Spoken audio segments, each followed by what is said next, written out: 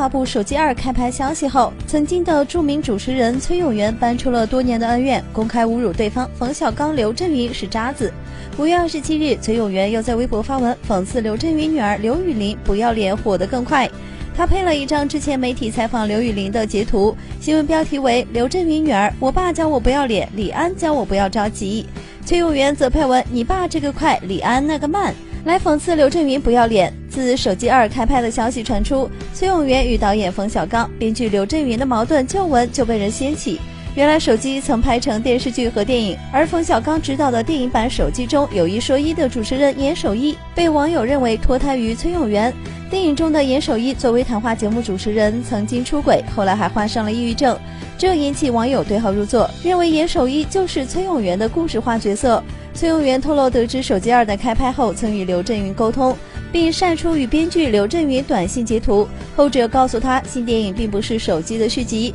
而是重点讲微信朋友圈，且片名定为朋友圈。然而后来的开拍消息却以手机二的片名进行宣传。为此，崔永元曾公开发文称冯小刚就是渣子。目前，冯小刚、刘震云等方面并未正面回应。心飘柔。